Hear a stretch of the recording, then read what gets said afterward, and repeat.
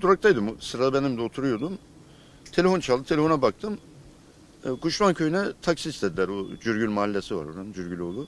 Bir kişi diğeriydi. E, tıbbi maskeli kapşonlu. Elinde çantası vardı. Durdum yanına. Dur durmaz benim sağ kapıyı açtı. Benim anahtarımı aldı. Beni itti ileri. Anahtarımı çekti kontaktan. Ondan sonra öbür şahıs kar maskeli, beyaz bir kar maskeli şahıs tüfekle beraber müdahale ettiler. Beni indirdiler yere. O da çıktı. Zarf ettiler. Yani tabanca tüfekle vurdular bana. Yere yatırdılar. Elimi bağladılar. Arabaya e, bindirip beni bagaja bindirip e, e, ayaklarımı ağzımı batladılar. Ondan sonra ileriden döndüler bir yerden çarşıya indik. E, oradan çarşıda bir tur attı bunlar. Kuyumcuya girdiler. İki dakika, üç dakika bilmiyorum artık olayın şeyinde e, anlayamadım. Burada, buradan bir tane Şemsettin'e çıktılar. Şemsettin'e çıktılar. E, bana kurtuldun. E, bırakıyoruz sen dediler. Arabayı da terk ettiler. Zaten yol bitti orada.